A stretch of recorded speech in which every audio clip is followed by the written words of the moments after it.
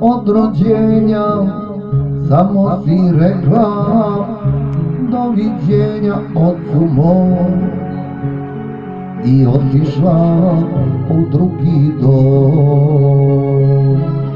Ja neću reći da kriva ti si Možda se s ocem slagala nisi, čuo sam ja Možda si s drugim sreću pronašla Možda si s drugim sreću pronašla Bila si hrabra, stadu si smogla Al samo reci kako si mogla bez mene. Sve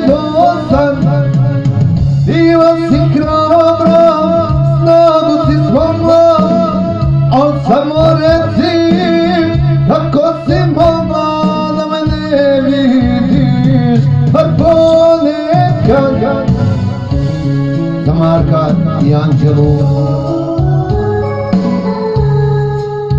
Leggiamo da Machia in Angelo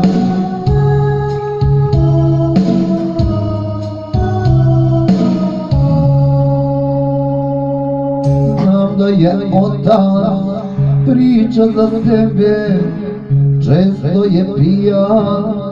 Psova od tebe čuo sam ja. Možda je bolje što si otišla. Verujem ja te, razumem sada. Htela si život, bila si mlada kaj se zna.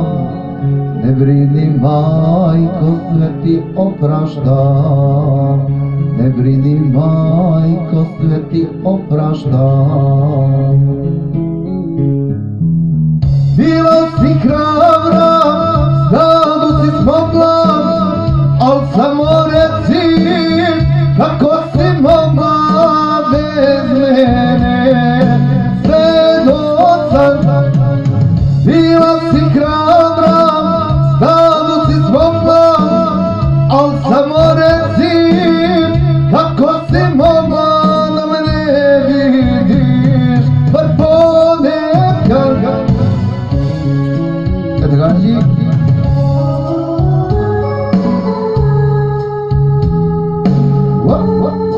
Diva to Diva.